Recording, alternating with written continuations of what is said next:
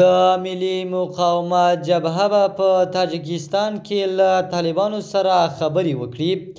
د روسي سپوتنیک خبري اژانس وايي، د احمد مسعود په مشرۍ د ملي مقاومت جبهه غواړي چې د تاجکستان په پلازمېنه کې پنجشنبې په ورځ د طالبانو استازو سره غونډه وکړي.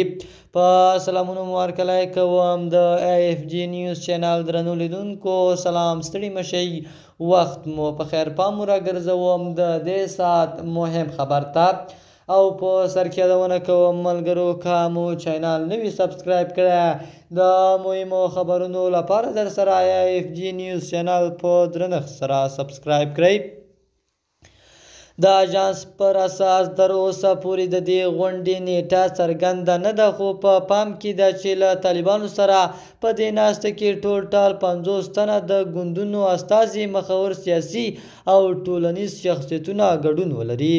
سپوتنیک په ملي مقاومت جبهه کې د خپلو سرچینو په قول ویلي چې د دغې غونډې هدف او اوسني بحران ته د حل لارې موندل او د افغانستان د ټولو سیاسي قوتونو په ګډون د ټولګډونه حکومت جوړول دي.